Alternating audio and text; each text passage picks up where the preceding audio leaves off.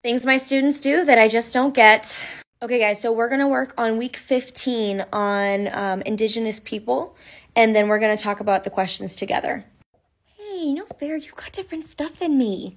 What do you mean you have different stuff? Are you on the right article? Did you click on the quiz by accident? Oh, no, I'm on my rat cage, but like, he has different stuff. Like, he's got a flat screen TV and stuff. Why are you on the rat? Go to the article.